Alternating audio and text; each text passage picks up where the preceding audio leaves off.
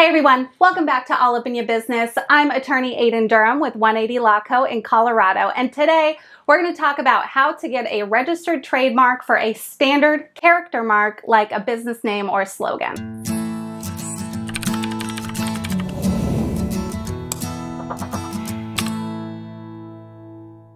Few weeks ago, I posted a video about how to get a trademark for a business name and a logo. That video was kind of general. I talked a lot about some of the prep to go through before you submit the trademark application, like doing a trademark clearance search, making sure you have a good, strong trademark that's worth registering, some of the more procedural aspects of the trademark application and the application process, things like that. This time around, we're gonna skip over a lot of that stuff and focus more on the specifics and specifically as they relate to doing a trademark application for a standard character mark. So if you're looking for more of an overall kind of high level overview, then check out my video Fred that I did previously. I'll link to that in the description. This one, we're talking about standard character marks and in a couple of weeks, weeks, I'm gonna do a similar video, but focusing on design marks like logos. So if you haven't already done so, make sure you subscribe to my channel and click that little bell so you get notified when I post that next video because you won't wanna miss it. And if you wanna learn even more about trademarks and trademark registration and how this whole thing works, then you can check the description for a link to download my free Brandish DIY trademark guide. All right, let's talk about trademarks.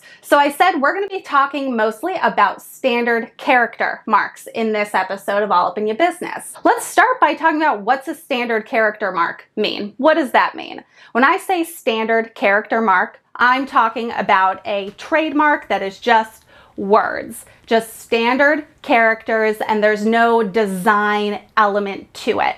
We compare this to a design mark, which does have some kind of design element to it. So standard character marks are going to apply to things that don't have any design.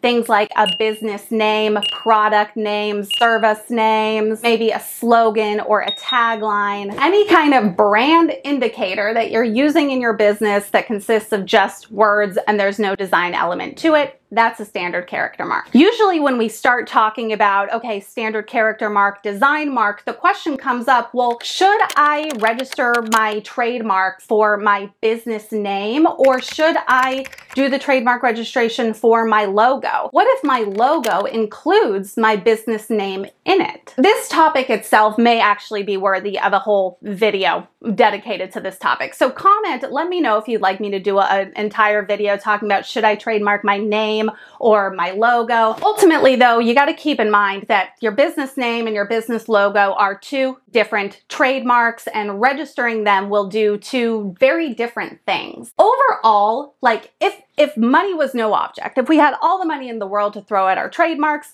Let's do all of them. I want you to register your business name as a standard character mark. I want you to register your logo. I want you to register all variations of your logo. I want you to register every trademark you have. That's not always possible. It's not always realistic. In the beginning, usually, I suggest let's start with registering the standard character mark for the name and we can address the logo later. But that always depends on my client's goals, their specific circumstances and situation, how they're going to be using the name versus the logo. There's a lot of things that go into it. Generally speaking, though, if it's one or the other, I say start with the name as a standard character mark. Another question that commonly pops up when we're talking about registering a standard character mark is what do I include in this? Let's say we're doing a trademark registration for a business name. A lot of businesses are, are, organized as LLCs or corporations. And when we organize a business as an LLC, we have to typically include some designation like LLC or LTD. Our name has to include some hint that this is a limited liability company. So that's my entity name. My technical business name is 180 Law Co. LLC. Do I have to include LLC in my trademark? Or if I'm organized as a corporation, do I have to include the Inc. in my trademark? Or let's say I've, I've got the domain. I hear that all the time. I want to register as trademark. I've got the domain name. Uh, do I need to include the .com in my trademark registration? Really, there's no, there's no answer to this. It depends on what is the trademark you are going to use. When you are going to use your business name, your product or service name, what name is that that you're going to use. That's the trademark. When you're marketing and selling your products and services, if you and your customers, your clients, the general public refer to your business as business name LLC, then that is the trademark that you're using. And so it's not should I include LLC in my trademark? It's does my trademark include LLC?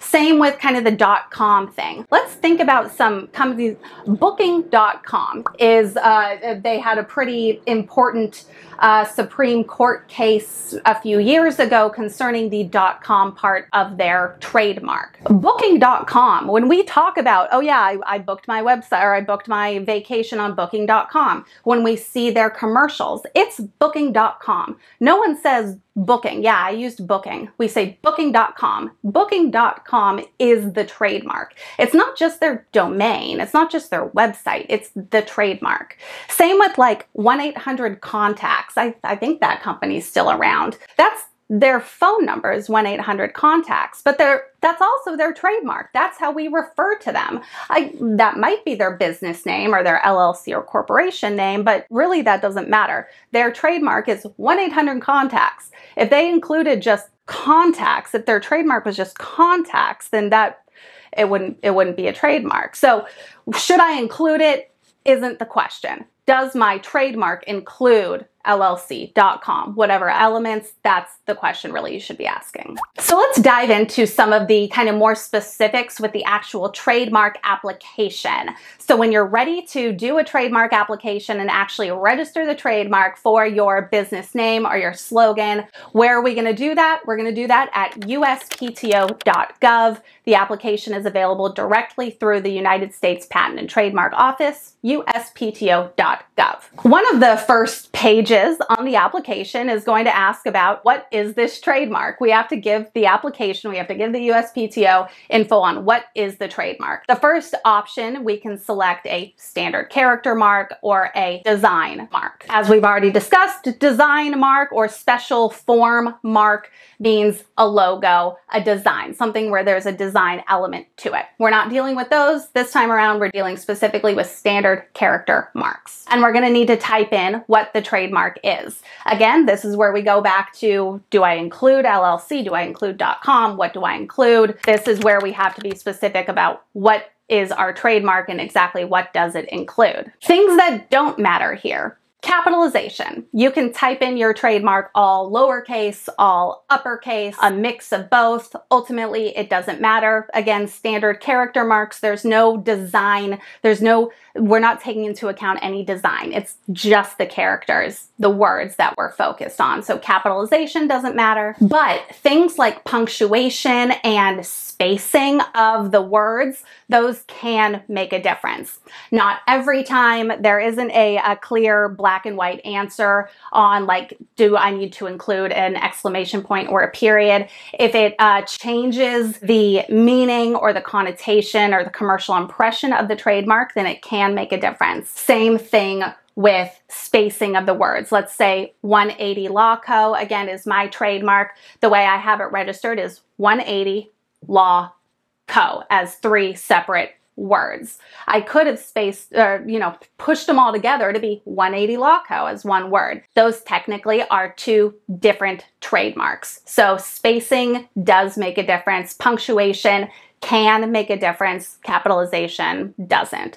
But again, we want to focus on what is the trademark I'm using. Put it in the application as you are going to be actually using it. On the application, we're also going to have to specify the goods and services that we are using or are going to use the trademark in connection with, and we have to tell them the filing basis for our trademark. Typically, for most of us, this is going to be either 1A current use filing basis or a 1B intent to use filing basis. Current use means we are currently using it in commerce. Our trademark is out there in commerce. The general public sees it when they encounter our goods or services. Intent to use means we're not using it in commerce yet, but we have a bona fide intent to do so. If we're filing on a 1A basis, we're going to have to submit a specimen along with the application. If we're filing on a 1B intent to use basis, we don't have to submit that specimen just yet with the application. We'll do it later on in the process after the examining attorney issues a notice of allowance. But with a standard character mark, there are sometimes, oh, I'm getting a knock at the door. Hold on. Hello? Hi there. Hi. How you doing? Good, how are you? Good. So, give you a heads up. We noticed in our shares a wall that it's like electrified. It's like when you touch part of it, you get shocked. Oh shit, okay. Yeah. So your building might partially be electrified. Okay, So like on, on like the specifically like outside? the windowsill itself. So I went to open his window and got shocked. It was the Oh, wow. most bizarre thing. Wow, So then we secured all the power and everything, all the breakers, and it's you still get shocked even with all the power off. shit. Okay. Just a heads up that Okay. you might, if just, I don't know if you want to just touch your windowsill maybe and see if you get a little. Right, test it out. but- Okay. Well, then, yeah, I'll flip my uh, breakers too and see Yeah, I if that wanted to give changes anything. heads up, maybe, so you don't get a wild shock. Yeah. out, so. Well, thanks. Okay. Thanks Yeah. for that. I Of course. appreciate it. No problem. Okay. Don't touch the windowsills, you guys. Pardon that. I've just I've just been alerted by my next door neighbor that our windowsills might be electrified. Uh, okay. Regardless of the filing basis, whether we're filing on a 1A or a 1B basis, and whether we're submitting the specimen now or later, there are some common issues and questions that typically come up when we're doing that. The first is okay, so I applied as a standard character mark. Does that mean I can't use the name in my logo, or are they not going to accept a specimen if they see that I'm using this name in my logo or in some design? Nope, that's fine. Again, we're registering as a standard character mark, which protects it regardless of how it looks. So you can use it in any design and it's going to be protected. The words are going to be protected because of that standard character mark registration. So if we submit a specimen showing proof of our use of the trademark and our specimen has our logo that includes the name, the standard character mark, that's just fine. That's perfectly acceptable. Again, using my business, my trademark as an example, my trademark registration is for 180 Law Co. as a standard character mark, but I could give them a screenshot of my website showing that I'm using the name in connection with my legal services. And it's fine that it appears in my logo. That's not an issue. But going back to that whole what is the trademark? What do we include in it? That potentially can be an issue that can come up with the specimen. The specimen, what they see on the specimen has to match the trademark as you applied for it on the application. Design doesn't matter, but the characters themselves, because that's what we're focused on, the characters have to be the same. So we've got all that taken care of. We put the trademark in the application. We assigned our filing basis. Maybe we submitted that specimen because we're on a 1A filing basis and we hit submit. We paid our filing fee and our application is now officially submitted to the USPTO. Where do we go from here? For most of us, we're going to be going nowhere. We're going to be sitting and waiting for a while. Currently, it's taking 10 to 12 months, a bit closer to 12 months right now, before someone at the USPTO even sets eyes on your application, before anyone even touches it. Nothing's going to happen with your application for at least 10 months going off of current uh, processing times with the USPTO. But after that, after about 10 months, your application is going to be assigned to an examining attorney at the USPTO who is going to look over your application. They're going to do a search to see if it conflicts with any, any other pending applications or any trademark registrations and to make sure all the info they need is there and that this trademark is actually available and eligible for registration in the US. Before you even hear anything back from the examining attorney though, you are going to start receiving spam and solicitations in the mail and via email. These are almost always going to be 100% garbage. If you get anything in email that doesn't come directly from uspto.gov, if you get anything in the mail that doesn't come from the United States Patent and Trademark Office, you can ignore it. It's garbage, but you're to get them. Don't worry. I can guarantee you that. So the examining attorney is going to be assigned after about 10 months or so. If there are any issues with your application or if they find some conflict with a pending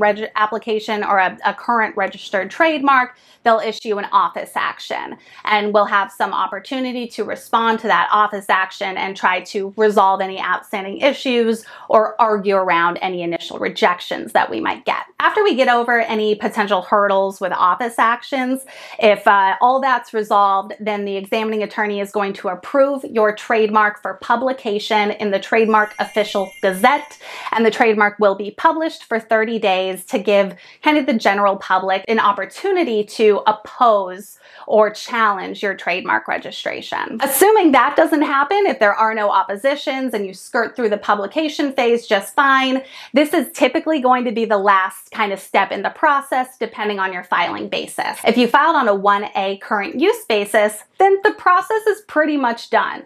There's still some wait time. We still have to let, you know, the USPTO kind of tie up their loose ends, but usually within about two to three months after publication, the trademark will be registered and we'll get a glorious certificate and will be a grand, wonderful day. If we filed on a 1B intent to use basis, after that publication phase, the examining attorney will issue a notice of allowance and we'll have six months from that date to then submit a statement of use along with a specimen, that proof of use of our trademark, or we can request some extensions if needed. But then once that statement of use has been filed and accepted by the USPTO, then again, just waiting a few more months for the USPTO to do their thing, and then ultimately, woo, woo, trademark party, we've got our certificate. It's a great day. So when it comes to doing a trademark registration with the USPTO for a standard character mark, really the biggest things that you're gonna wanna focus on are making sure we know what this trademark is. We know what our trademark is going to be. We know that the trademark we're putting on the application is going to match the trademark as we're using it or as we are planning to use it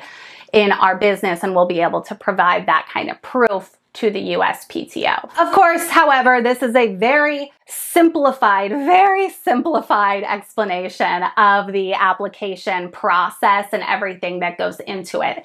It is much more complicated and complex than it sounds, even when I, I break it down so it sounds simple. It's not. It's not simple. And so because of that, it's always best to consult with a trademark attorney if you're interested in getting a trademark registered for your business name or your slogan. Even better yet, have an experienced trademark attorney help you through the process. If you're looking for more info on how to get a trademark registered, if maybe you want to do it yourself, but you need a little extra hand holding, or if you're curious about working with a lawyer, you can check the description down below for a few helpful links, including a link to download my free Brandish DIY trademark guide. If you learned a thing or two, go ahead and give me a thumbs up and like this video. Like I said earlier, if you guys want me to do a whole video kind of talking about should I do my logo or my business name, comment and let me know. Don't forget to subscribe and click that little bell so you get notified when I post that next video talking about how to get a trademark for your logo or design. Thank you so much for watching. I'm Aiden Durham and I'll see you next time. Great. Woo. Trademark's done and I'm not electrified yet. Should I touch this? I'm gonna do it. I'm gonna do it. If I get electrified. Okay. I'm not electrified yet. Just in case I die. Just in case I die, you guys will see. Okay. I'm not electrocuted. It's okay.